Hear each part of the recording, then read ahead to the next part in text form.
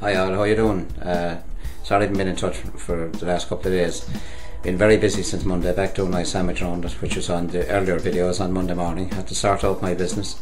Uh, annual returns not done for last year. Uh, don't run an election in January and February if you want to get your last year's accounts finished the same two months. Had to get my own uh, business up to date.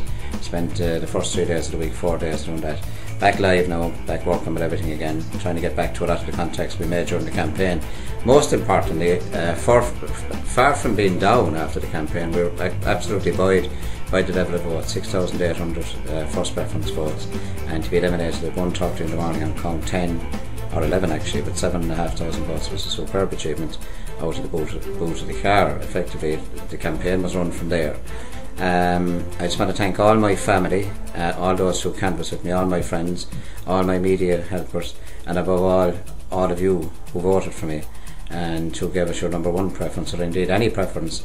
It was a wonderful, wonderful day. Um, I knew earlier today we wouldn't have enough numbers because um, if it was in the English system as the fellas as first past the post, we, we would have been elected as one of the first four, but we don't run that system here and uh, I think that again to finish number number four on the first count was a tremendous achievement. But that's all down to you, each and every one of you, because it's the only count one at a time, as I said in many videos in the past.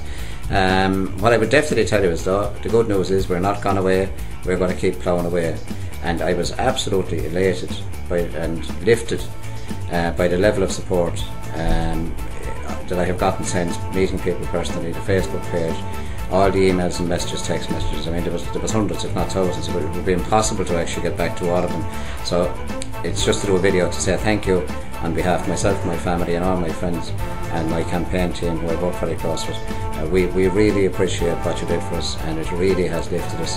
And have no doubt, as I said, we are not gone away. Make no mistake of that. Thank you very much.